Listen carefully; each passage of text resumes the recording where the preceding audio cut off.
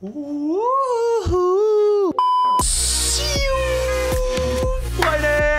willkommen und schön, dass ihr wieder eingeschaltet habt zu einem neuen Video. Ich bin wieder sehr gut gelaunt. Ich hoffe natürlich, ihr da draußen auch. Das Einzige, was heute nicht gut gelaunt ist, ist anscheinend meine Kamera, die mich die ganze Zeit unscharf macht. Leute, wir haben uns heute versammelt hier zu einer Folge Temptation Island VIP und ich habe schon ein kleines Spoiler gesehen auf Insta. Es soll in dieser Folge wirklich komplett eskalieren. Also wirklich komplett. Ich wollte mich nicht spoilern lassen, habe aber dann so mehr oder weniger was gesehen. Dementsprechend weiß ich, es geht ab. Also, Ganz, ganz wichtig. Ganz wichtig. Habt ihr schon den zweiten Kanal abonniert? Das ist der erste Link in der Beschreibung. Dort kommt jeden Tag um 18 Uhr noch ein Video. Und das wäre schon essentiell wichtig, denn wir stehen so kurz vor den 100.000 Abonnenten. Würde mich natürlich sehr freuen. Ne? Also wir möchten noch kurz erwähnen. Aber ansonsten lehnt euch zurück, macht euch gemütlich, holt euch was Leckeres zu snacken und was Leckeres zu trinken. Tee ist immer eine gute Wahl. Da würde ich niemals Nein sagen. Bevor wir reingehen, liebe Freunde, der Link zu RTL Plus ist unten in der Beschreibung. Wisst ihr Bescheid. Dort findet ihr The One, Temptation Island, das perfekte Dinner und alles weitere. Checkt's gerne aus. Henriks Ausflug in den Garten der Lust sorgt am Folgemorgen für mächtig Kopfzerbrechen. Zumindest bei Jakob und Giuliano. Und das ist ja eh das Krasseste, ne? Junge, geht der einfach gestern hier hinten um die Ecke rum, toter Winkel, wo keine Kameras sind. Und dann hörst du die rumschmatzen. Der ist so dumm, der Junge. Denkt ihr da, also man sieht ja nicht, ob was passiert ist oder nicht. Denkt ihr, dass was passiert oder nicht? Wo er mit dem Mädel da um die Hauswand-Ecke rumgegangen ist. Ich könnte mir schon gut vorstellen, das schon, ne? Also ich glaube, Real Talk, Real Talk könnte was passiert sein. Ehrlich. Weil sie zeigen das auch. Ja, das ist doch, das ist doch, das ist doch, das ist doch Fremdgehen, Digga. Warum soll man, also man kann das ja auch machen vor der Kamera, warum soll ich denn irgendwo hingehen, wo keine Kameras sind? warum machst du das? So, das macht man ja nicht ohne Grund. Da hat der gute Henrik sich echt ein Eigentor geschossen. Ne? Temptation Island ist ja die Insel der Verführung. So, und als vergebener Mann stellst du dich zwar der Verführung, aber darfst nicht auf sie eingehen. Das ist ja der. Plausibel, danke Jakob. Starke, starke Erklärung. Vielen, vielen Dank. Mir werden, würden solche Bilder das Herz zerreißen. Bin ich ganz ehrlich, ja. In der Villa der Frauen startet der Morgen weitaus verschmuster. Paulina Oh, die beiden, fühlt sich Alter. in Dominiks Armen sichtlich wohl. Das, das, das ist genauso Fremdgehen, ne? Ich möchte nichts, also ich möchte hier nichts vergedingsen, also vergleichen oder was weiß ich. Aber ich finde beide Parteien, also Partei Paulina und Partei Henrik, scheißen beide komplett rein. Aber das ist emotional und das, was Henrik macht, ist Party. So, ne? Ist beides scheiße, kann man beides nicht entschuldigen, aber das, finde ich, kann man noch weniger entschuldigen. Weil sie, die hat sich schon in den verliebt, Mann. Die streichelt sein Scheißgesicht, Alter, wow. muss ganz ehrlich sagen, ähm, ich kann im Moment irgendwie nicht alleine sein. So I'll hang on. Ich bin froh, dass Dominik da ist, weil er Stellt euch mal vor, euer Freund oder eure Freundin, ich sag Freund, weil die meisten von euch sind Mädels, würde so kuscheln mit jemand anderem. Ist kein Fremdgehen, gehen, ne? Das ist diese, dieses aktive Kuscheln. Die küssen sich nur nicht, weil Kameras da sind. Die hätten sich schon längst geküsst. Zehner, 20, sogar ein Taui wette ich drauf. Taui. mir gerade wirklich einfach irgendwie Halt gibt. Aber die checkt das nicht, ne? Die denkt, die denkt, das ist so völlig, völlig okay, völlig normal. Das ist, das ist ja nicht, das ist nichts Schlimmes. Die hat das ja noch lange nicht so selbst reflektiert, dass die selber auch Scheiße baut. Ja, vielleicht sieht es manchmal so aus, als wären wir äh, schon ein Paar. Ja, und das ist der Fehler. Der Satz ist schon der Fehler. Du dumme Kuh, alter Mann. Du checkst es nicht. Du checkst es echt nicht. Bin so gespannt, wenn sie das so sieht, jetzt im Nachhinein so zusammengeschnitten, ob sie das so realisiert, wie dumm sie eigentlich ist, ne? Genauso Henrik, aber von Henrik kennt man das halt schon, ne? Henrik kannte man vorher schon so. Das war so, mm, das ist eh ein Idiot. Das ist eh ein Idiot. Und ich meine das nicht böse, ne? Auch wenn ich dumme Kuh und so sage, ich meine das nicht böse oder beleidigend oder so. Das ist gerade einfach nur, ja. Aber das gefragt. Hab gerade Kaffee gemacht. Süß, dass du ähm, ist fragst. nicht so. Danke. Ich bin immer noch mit Henrik zusammen. Ja. Ob sich das beim nächsten Lagerfeuer ändert? In der Männervilla versucht Henrik unterdessen seine Hände in Unschuld zu waschen. Ich habe hundertprozentig eine Erklärung für alles, weil ich habe so gesehen mir nichts vorzuwerfen hier. Ich habe getanzt, gelacht, macht Spaß gehabt. Manchmal sieht das vielleicht ein bisschen indisch aus. Sind da ein bisschen rum Hier muss man wieder sehr viel zensieren, ne? Das tut mir echt leid. Dennis, Mann, das tut mir echt leid. Was soll ich machen? Was soll ich, was soll ich tun? in der Ecke. Aber da war wirklich, das Trash bei Gott, da war absolut gar nichts. Glauben wir ihm das oder glauben wir ihm das nicht? Das ist die, das ist die Frage aller Fragen. Also wir haben uns angefasst, berührt, waren uns sehr nah. Aber zum Kuss ist es nicht gekommen. Wir können ja nichts machen. Nee? Nee, es geht nicht. Ich will, doch. Die hatte auch vorher zu ihm gesagt, so mäßig, ah, ich bin horny und so. Der sowieso ein Idiot. Ich sag, ah, ich sag das, was passiert. Ich sag das, was passiert, sonst wären die nicht um die Ecke gegangen. Oder? Oder? Boah, das sah schon krass aus, mein Gleich. Boah. Boah, das wird Paulina so lieben. Das wird die so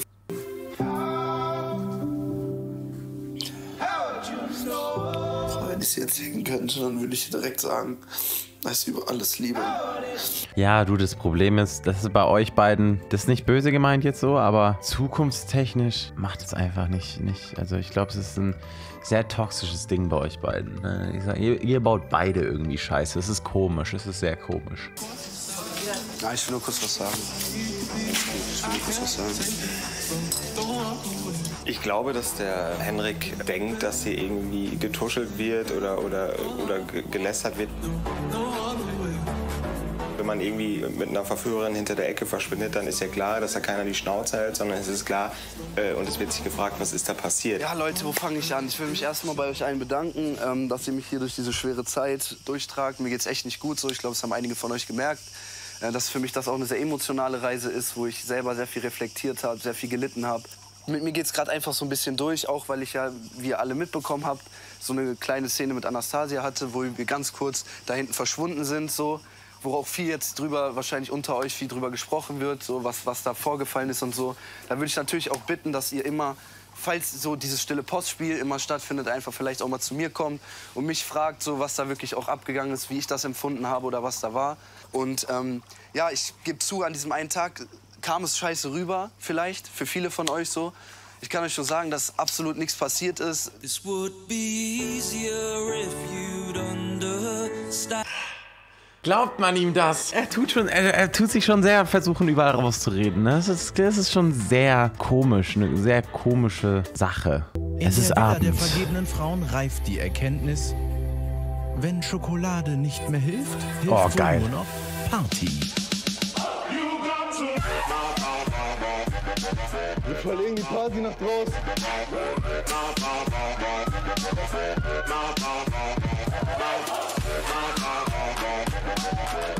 Wir waren die Ersten zumindest, die im Pool gelandet sind. Aber wir sind ja schlau und wir haben die Männer mit uns mitgerissen. Irgendwas muss bei dieser Party passieren. Irgendwas muss passieren. Es haben so viele Leute geschrieben, die Folge 10 ist abnormal. Irgendwas muss passieren. Ich sag's euch, wie es ist. Die machen so ihr Ding da. Oh, die zwei. Oh nein. Paulina ist mit Dominik immer noch eng zusammen. Bei denen habe ich manchmal das Gefühl, es ist ein Paar. Ja, die passen schon gut zusammen. Die will doch diesen Kuss, oder nicht? Das sieht doch so aus, als ob sie den will. Nach der langen Zeit ähm, gefangen in einem Haus ohne äh, Kontakt zur Außenwelt spielen die Hormone auf jeden Fall verrückt. Ich habe interessante Beobachtungen gemacht. Diogo und Emmy, das ist auf jeden Fall ganz schön wild. Ja, die Hormone kochen auf jeden Fall über, würde ich schon sagen. Nein. Nein. Nein, nein, nein, nein. Ich suche jetzt auch ein bisschen Ablenkung, nachdem ich erfahren habe, ich bin ja gar nicht die Frau fürs Leben für Udo. Wenn ich wüsste, Nein. dass es die Frau ist, die ich Das ist ihre Ausrede, ne? hätte ich an diesem Format gar nicht teilgenommen. Weil das setzt man für kein Geld der Welt aufs, aufs Spiel. Also suche ich halt dann den Halt woanders. Nee. Nein! Nein! Nein! Nein! Ist doch geisteskrank. Wow. Ey, es, es gibt hier Leute auf diesem Planeten, ne? Ich komme nicht klar. Das kannst doch keinem erzählen. Ja, die, die Stelle skippen wir halt sowas von jetzt. Dieses Gestöhne hier muss da nicht irgendwie rein, Alter. Nee, was das denn? Gibt es dazu noch nicht mehr Infos?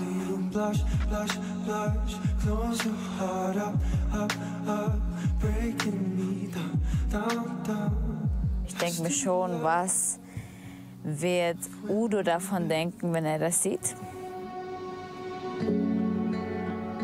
Wow. Ich weiß nicht warum, ne? Guck mal, ich, ich bin noch nie fremdgegangen. Ich weiß nicht, also ich weiß nicht, ob mir fremdgegangen wurde. Ich glaube nicht. Aber ich finde Fremdgehen so, so, so, so schwierig. Das ist jetzt nur meine Meinung so an alle, die schon mal das gemacht haben. Fühlt euch jetzt nicht angesprochen oder was weiß ich. So eure, euer Ding, macht euer Ding, wie ihr wollt. Aber ich persönlich empfinde dann so, ich werde sauer, obwohl ich nichts damit zu tun habe.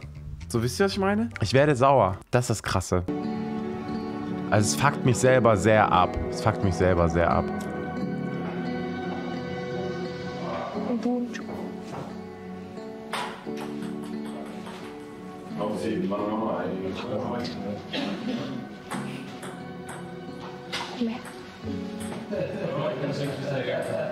Oh Mann, Alter. Oh Mann. Oh Mann. Ja? Nick einfach. Es hat sich einfach richtig, es hat sich einfach gut angefühlt. Und ich habe einfach gar nicht daran gedacht, dass das, was ich gerade mache, vielleicht unfassbar falsch ist. Ist das? Ja? Und ich damit Dinge kaputt mache, die ich vielleicht gar nicht kaputt machen will. Du dumme Nuss. In Germany we say dumme Nuss. Kommt diese Einsicht zu spät? Jedenfalls ist Henrik nicht der Einzige in der Beziehung, der für äußere Reize empfänglich ist. Ich habe Boah, in den letzten Tagen Nein, so sehr Alter. gekämpft. Ich war die ganze Zeit so in einem Kampf mit mir selbst. Dann war da Dominik. Bitte küsst euch nicht. Die küssen sich. Die werden sich jetzt küssen, oder? Ich mag, was ich mir aber verboten habe, weil ich gesagt habe, nein, du bist hier als Paar, du liebst Henrik. Ich mag Dominik einfach wirklich. Ich mag ihn so gerne. Ich kann ja auch nichts dagegen machen.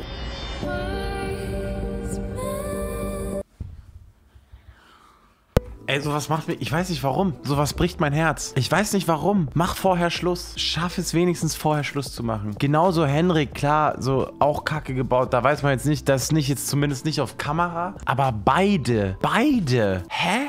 Wohin mit euch? Aber dieser Dominik muss man ihm lassen, ne? Auch wenn ich mich immer übel, übertrieben über ihn abfacke. Er macht halt seinen Job, ne? Das ist ja sein Job. Er soll ja verführen. Ich weiß nicht mal, vielleicht kriegen die Verführer sogar extra Cash, wenn die jemanden verführt haben. Keine Ahnung, so als Anreiz oder so, wisst ihr? Aber er macht ja seinen Job. Aber das ist krank. Das ist krank.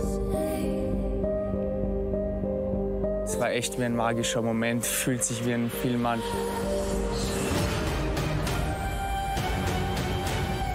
Er küsst jemanden, die gerade ihrem Freund fremd geht. Also wenn er ernste Absichten hat, hat er sich jemanden geklärt, der fremdgegangen ist. Heißt, die Chance, dass die Person dir fremd geht, so, ich komme nicht klar.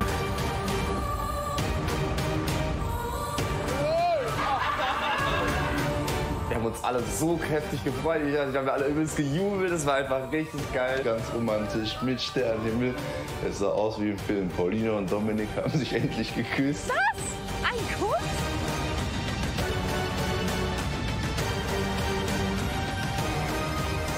Ich will, dass Henrik das sieht. Ich will, boah, ich will diese Reaktionen sehen. Fällt gerade ein Stein vom Herzen, dass ich vielleicht das erste Mal so richtig auf mein Herz gehört habe und nicht nur auf das, was Aber es ist schon krass, oder? Also guck mal, Fremdgehen ist schon krass. Fremdgehen im Fernsehen ist geisteskrass. Das ist, Das ist richtig krass. Ich finde das schlimmer, als im Fernsehen, wie jetzt zum Beispiel bei I Do One im Boom Boom Room zu sein oder so. Das finde ich schlimmer. Sag ich euch ehrlich, Leute. Sag ich euch ganz ehrlich. Das ist schon krass. Das ist schon krass. Ich glaube, die ist eine super Liebe. Ich glaube auch Henrik. Ich, ich weiß, ich kenne Henrik, aber ich weiß, wie Henrik ist. Die sind beide super lieb bestimmt. Aber das hat so, das ist so, das ist einfach so ein bisschen widerlich auf gut Deutsch. Kopf mir die ganze Zeit sagt.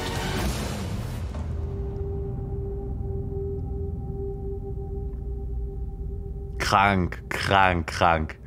Ich weiß, warum ihr meintet. Es sind schon zwei Mädels an einem Abend fremdgegangen. Zwei. The Walk of Shame. Ja, The Walk of Shame, total. Hahaha, wie witzig. Ja.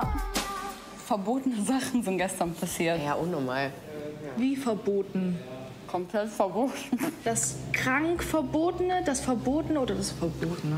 Das richtig Verbotene, oder? Das Verbotene, was verboten bleiben sollte. Oh Gott. Also das krass verboten. Oh mein Gott. du bist ja fremd gegangen. Oh mein Gott. Das ist so ranzig, diese, diese Runde gerade, wie die sich darüber feiern. Also wenn, wenn wir heute Lagerfeuer kriegen, ne? Ich glaube, Udo und Henrik fallen aus allen Wolken. Gott, wie Henrik auf die Bilder reagieren wird. Ähm, wird ihm auch das Herz brechen, natürlich. Ja. Junge, Alter, wie kann man so sein? Also, okay, tu's. Aber dann sag doch danach nicht, ah, wenn die später am Lagerfeuer sitzen, das wird denen das Herz brechen. Oha, bist du cool. Herzlichen Glückwunsch. Willst du eine äh, ne Dings? Ich kann dir eine Urkunde schreiben, für wie cool du bist. Warte. Urkunde. Da machen wir noch eine Einzelne für den ersten Platz der Coolness. So, das kann ich dir gerne zuschicken. Das kannst du dann noch einrahmen. Urkunde, du bist echt cool, Paulina. Und dann eine Eins für den ersten Platz der Coolness. Emmy natürlich auch. Emmy natürlich auch, ne? Ich möchte jetzt hier nicht irgendjemanden bevorzugen. Emmy kriegt natürlich den gleichen Preis. Da würde ich ihr auch eine Urkunde dazu machen, ne? Also so ist nicht. Leute, ihr werdet es nicht glauben, am gleichen Abend in dieser Folge ist noch ein Lagerfeuer. Ich komme nicht klar. Sehr, sehr geil. Habe ich anders Bock drauf. Rein da mit euch. Jawoll. Jappi.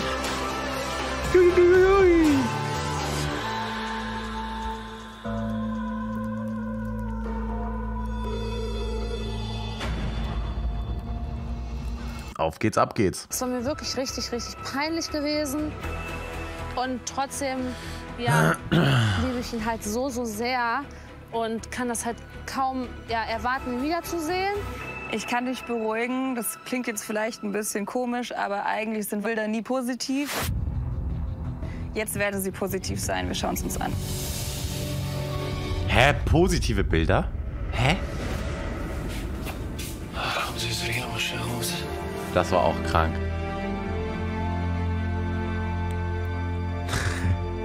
Voll süß aber. Oh, Baby, ich vermisse dich so krass nicht. Ich schwöre. Oh, ich will die endlich wieder bei mir haben, ehrlich.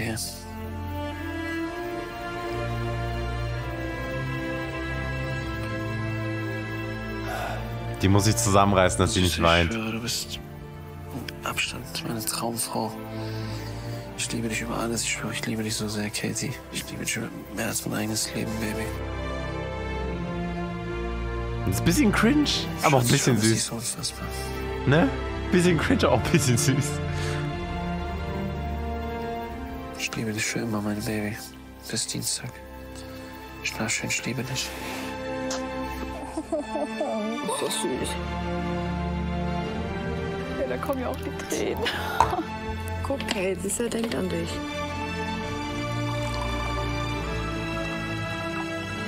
Ja, also ich bin auf jeden Fall jetzt sehr, sehr froh, dass ich, ich habe mit solchen Bildern gar nicht gerechnet.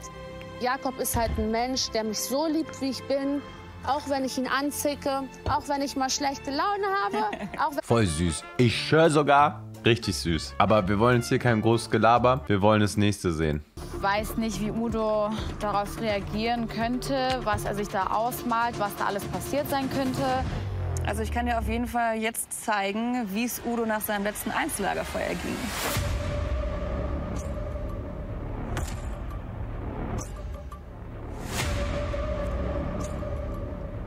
Was macht er da? Er ist schon wieder mit dieser.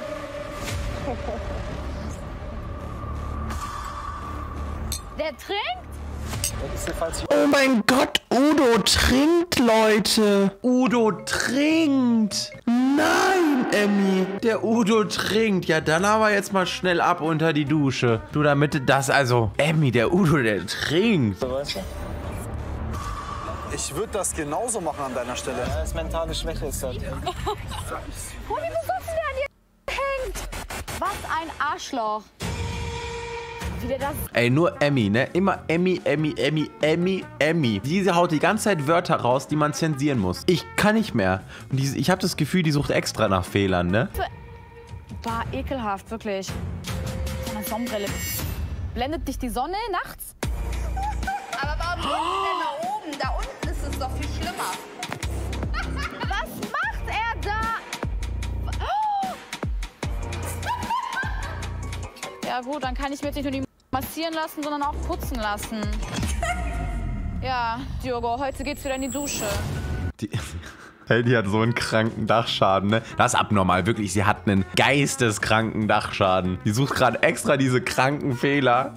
Das ist abnormal. Emmy ist wirklich abnormal. Auch ihr Gesicht jetzt gerade. Ja, Diogo, dann geht's halt heute wieder in die Dusche. Geil. Oh nein, jetzt geht er. Oh nein, er geht mit Mädels, die schlafen bei ihm im Bett. Emmy, pass auf. Zu ihm? Nein, nein, er geht jetzt nicht. Nein. Doch, doch, doch, doch, sie gehen zu ihm. Was? Was? Emmy, es reicht. Wirklich. Es reicht. Du warst mit dem einen Typ duschen, dann mit dem anderen duschen. Bei der einen Dusche weiß man nicht, was passiert ist. Bei der anderen hat man es auf jeden Fall laut und deutlich gehört. Dafür, ähm, liebe Freunde, falls ihr die ganzen Folgen sehen wollt, ne? RTL Plus, Link in der Beschreibung. Kuss geht raus an RTL Plus an der Stelle. Schrubbt der an ihrer Haben wir auch so eine Schrubbe zu, äh, in unserem Ja. Ich mach das vor allem jetzt. Küchentisch? Ja, das kann ich noch viel besser. Das, was er da macht. Ey, die, die hat so einen kranken Dachi, das ist abnormal. Aber alle, die da sind, also alle haben vieles, aber keine Selbstreflexion. Aber ich glaube, bei Emmy ist das eh so ein bisschen gestellt. Also ich glaube, das ist eh so eine verlorene Beziehung für sie gewesen und die hat eh keinen Bock mehr und macht einfach, was die will. So. Also ich glaube nicht, dass die da irgendwas ernst meint. Also die sucht nach Fehler. Ich bin sehr gespannt. Also für Giuliano ist die ganze Temptation Island Zeit auf jeden Fall eine Herausforderung. Vor allem mit den Verführerinnen.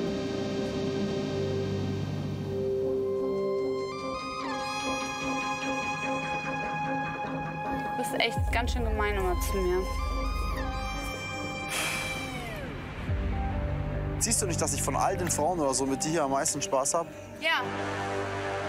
Aber siehst du das nicht, dass ich mich im Pool oder sowas immer neben dich setze und versuche irgendwie ein Gespräch und mir dann aber dumm dabei Aber Yvonne, vorkomme? du tust so, als ob ich Single wäre. Dieses äh, nicht wissen, woran man ist. Ich sag doch, dass du eine attraktive Frau bist. Aber Aber ich, dass ich meine Freundin liebe. Aber das hast du dir trotzdem noch nicht gesagt. Und jetzt sagst du das. Ja, weil ich hier drinnen festgestellt habe, dass ich sie vermisse.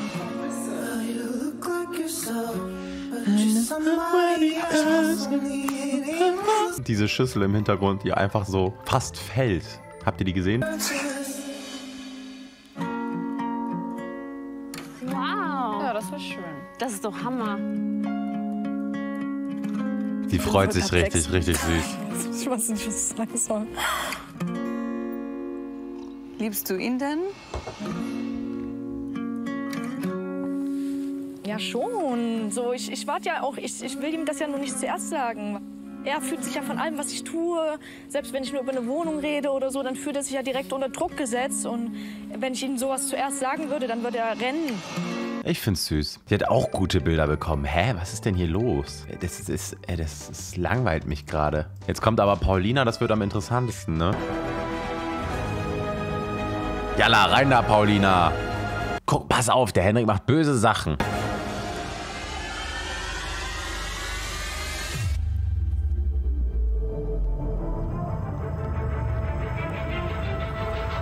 Eigentlich muss sie, eigentlich in ihrem Fall, rein theoretisch hofft sie ja gerade, dass er genau jetzt fremd geht. Weil dann sind sie gleichzeitig fremd gegangen. Wisst ihr, wie ich meine? Dann ist das für sie so, ah, du bist doch auch. Deshalb habe ich es auch gemacht. So, diese Moves.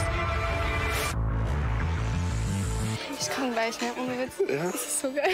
Was hat die gesagt? Gleich hat sie gesagt. Ja. Ja, komm. Stark. Gibst du mir Lapdance? Willst du? Ja, komm. Das kann ja wohl nicht wahr sein. Oh mein Gott. Ja, die Szenen kennen wir ja, ne? Können wir einen großen Zensurbalken drüber machen. Kannst du alles äh, einfach so Dings weichzeichnen, Dennis. kennen wir ja alles, liebe Freunde. Was? Nur die Reaktionen der Mädels sind interessant. Seid mal leise. Das wundervoll, wirklich. If I was you, I'd run. If I was you, I'd hide. If I was you, I'd be afraid. Afraid of what's inside. Ich, ich bin wirklich sprachlos. Die haben sich eh gegenseitig weggebummert. Ne? Also sie und Henrik, die haben sich wirklich beide gegenseitig ins Ausgeschossen. Das ist so. Passt auf, liebe Freunde. Sagen wir mal, das ist der Ball. Ihr seid das Tor, ne? Henrik, Henrik und Paulina müssen das Tor treffen. Die schießen nach da. Nach da. Und wenn der Ball zurückkommt, werfen die nochmal. Geisteskrank, liebe Freunde. Und wenn ich jetzt treffe, dann sind die aktuell safe nicht mehr zusammen. Oh, okay. Vielleicht sind sie noch zusammen. Mal schauen. Wir wissen es nicht. Aber wir können es auf einen zweiten Versuch probieren. Zwei, vielleicht der zweite. Ja, scheiß drauf. Ich habe das nicht verdient. Ich habe das nicht verdient. Ich habe alles für diesen Mann gemacht. Und er spuckt auf unsere Beziehung. Aber haben die bei sich in den Villen auch Spiegel? Ja, ne? Die haben schon einen Spiegel, so wo die gucken können. Ah, ich habe auch Scheiße gebaut. Mm, stimmt. Ja, ja, stimmt. Ich lasse mich von keinem Mann und erst recht nicht von ihm so erniedrigen. Da ist ein Mann bei uns in der Villa, der alles tun würde, damit, damit es mir gut geht. Und auf der anderen Seite ist da ein Mann, der mir sagt, dass er mich über alles liebt und sich da verdammt nochmal ein... Will er mich verarschen. Okay, sie interpretiert jetzt direkt rein, das ist sogar mehr als Küssen war, ne? Das ist auch krass. Soweit habe ich noch gar nicht gedacht. Könnte auch sein. Aber in dieser Folge, Dennis, ey, das ist krank. Diese Folge muss so viel zensiert werden. Ist euch das schon aufgefallen, liebe Freunde? Ich habe diese Mitleid gerade mit Dennis. Dennis, gib mal kurz bitte hier ein Status-Update. Ist noch alles in Ordnung? Brauchst du irgendwas? Geht's dir gut? Okay, perfekt. Wir haben gerade noch mal Glück gehabt, Leute. Dennis ist noch... Der, der kommt durch die Folge durch, so wie es aussieht. Ich wusste von Anfang an, dass das genau so kommen wird. Vielleicht Aber sie freut sich doch auch jetzt ein bisschen. Könnt ihr mir auch sagen, was ihr wollt. Sie freut sich doch jetzt. Die kann jetzt theoretisch zurück in die Villa und kann diesen Dominik direkt heiraten. Direkt Babys zeugen. So. Alles drin. Oh, das All-Inclusive-Paket kann sie sich jetzt da äh, organisieren. Die Jungs sind dran. Ich will, dass Henrik diese Bilder von Paulina sieht. Dann ist, also das ist wirklich die krasseste Folge bis jetzt, ne? Das ist die krasseste und spannendste Folge. Ich hätte nicht gedacht, dass sie so über mich äh, ähm, ablästern würde. Und das ist auch so äh, unter uns beiden, also zwischen mir und Kay, das Härteste, wo sie mich hätte mit treffen können. So. Also wenn die heute noch einen raushaut äh, in die Richtung oder noch zwei, drei, bin ich auf jeden Fall mal gespannt. Das wäre auf jeden Fall sehr geisteskrank. Ja. Geisteskrank. Das ist eins meiner Lieblingswörter mal die ersten zurzeit. Bilder an. Emotional ist es bei ihr nämlich aktuell so eine leichte Achterbahn. Es Ja. ist ein Auf und ein Ab.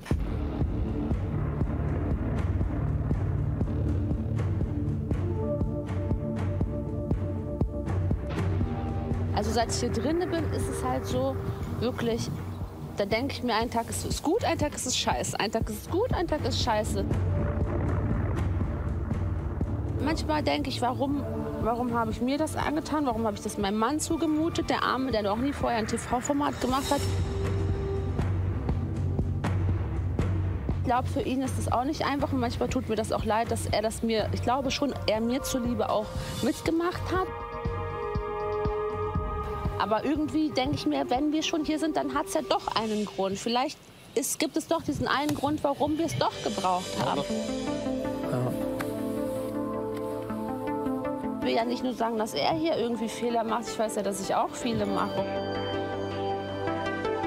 Ich weiß ja auch, dass ich richtig oft auch gemein zu ihm war, wo er es nicht verdient hat. Und ich merke hier drin einfach auch, dass ich einfach auch jede Sekunde weiterhin mit ihm schätzen sollte, die ich habe. Ja, ja, das, die hat auch, also er hat auch gute Bilder bekommen. Heißt, Giuliano kriegt wahrscheinlich auch gute Bilder, oder? Keine Auge zu, weil ich die ganze Zeit irgendwie, keine Ahnung, irgendwie Angst habe, dass er schon wieder am Feiern ist oder am Trinken ist oder keine Ahnung was macht. Das ist echt scheiße. Wenn ich wenigstens wüsste, dass er schon schläft, dann kann ich wenigstens zur Ruhe kommen. Ich habe echt keinen Bock. Ich kann auch nicht schlafen heute irgendwie ohne ihn.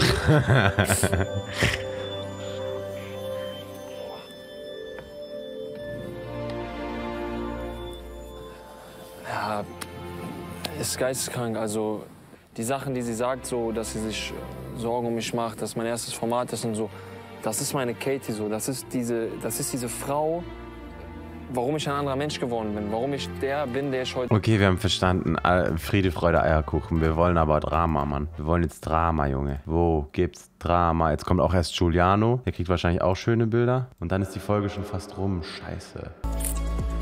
Die zwei Udo und Henry kommen bestimmt in der nächsten Folge. gekommen bin, dass ich sie liebe und jetzt irgendwelche Scheiße. Bilder sehe, die mir dann das Herz zerreißen. Ähm, ich weiß nicht, was ich. Ich sag mal so, sie wird auf jeden Fall immer lockerer. Oh, er kriegt doch Schauen keine guten an. Bilder. Oder?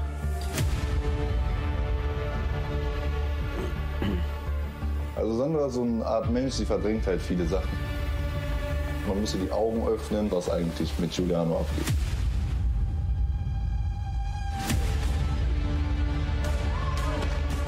Wie er schlecht von ihr redet, das ist meiner Meinung nach das Schlimmste, was man machen kann, wenn man seine Frau, seine Freundin nicht unterstützt. Geh mal Sport machen, ey, deine Klamotten sehen hässlich aus. Das macht ein Selbstbewusstsein einfach komplett kaputt.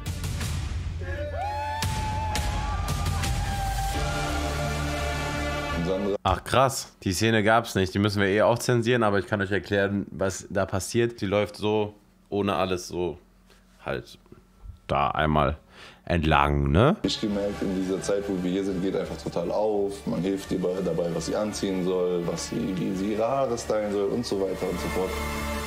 Und ich denke, in der Beziehung wird sie einfach komplett unterdrückt.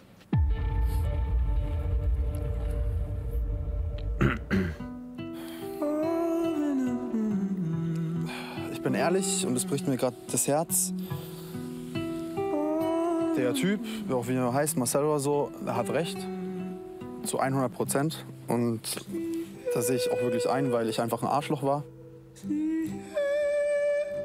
Und ich kann das verstehen und nachvollziehen, dass sie von anderen Männern jetzt die Bestätigung sucht, weil ich ihr einfach in der Vergangenheit viel zu wenig gesagt habe, wie gut sie aussieht, was sie alles für, sich, was sie alles für mich macht. Und ich war halt bis jetzt echt kein toller Freund, muss ich ehrlich sagen. Stark. Giuliano hat Einsicht gezeigt. Aber sollen wir uns den kleinen Trailer für nächste Folge angucken? Das war mehr als demütigend.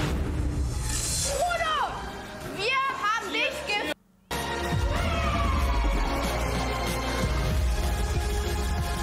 Was? Was?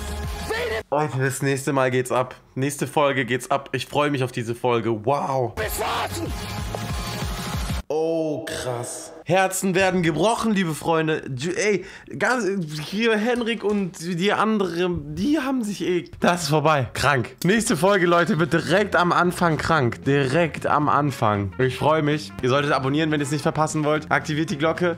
Und schaut auch gerne auf dem Zweitkanal vorbei. Unten in der Link in der Videobeschreibung. Erster Link. Dort kommt 18 Uhr auch nochmal ein Video. Ansonsten sehen wir uns morgen wieder 14 Uhr beim neuen Video. Und in ein paar Tagen kommt die nächste Folge online. Bis dahin, haut rein. Bleibt geschmeidig, gell? Wir hören uns. Ciao, ciao.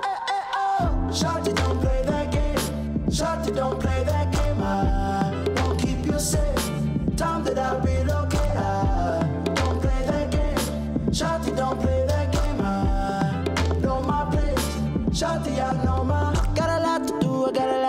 I got a lot to do.